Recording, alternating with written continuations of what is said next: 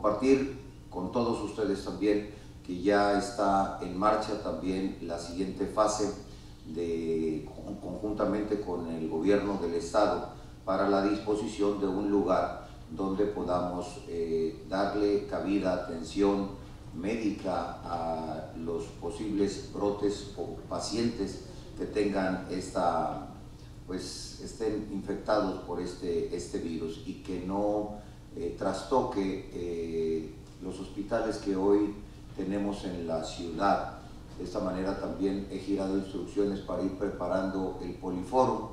y hacer uso efectivamente de esa partida presupuestal que ya previamente ha sido aprobada por, todos nosotros para eh, estar prevenidos ante una situación de mayor gravedad.